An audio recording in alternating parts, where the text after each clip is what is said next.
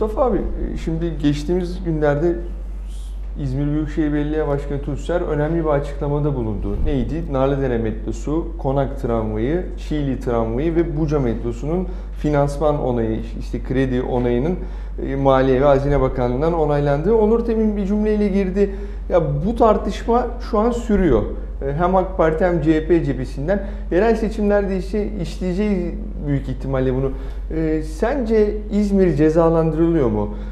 Cumhuriyet Halk Partisi kanadı İzmir cezalandırılıyor diyor. AK Parti ise bu bir algı diyor.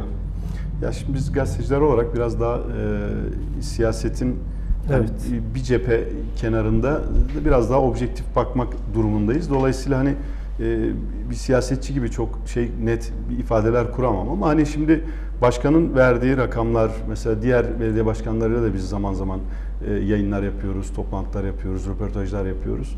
Şimdi onların da ortaya koyduğu tablolar mesela Tunç Başkan bunu e, geçenlerde de Şenol Aslanoğlu il başkanı rakamlarıyla koydu ortaya. Tunç Başkan defalarca dile getirdi.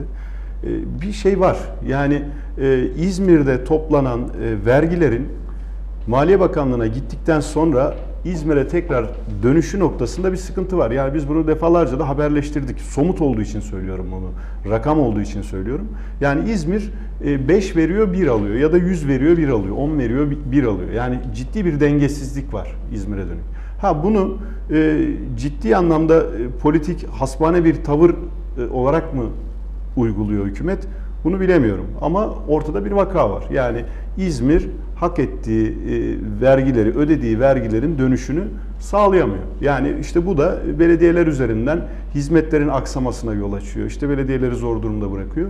Ve bilemiyorum bu da tabii belki de karşı tarafı elini güçlendirecek bir unsur olarak ortaya çıkıyor. E, ama şey bu, e, ortada bir vaka var.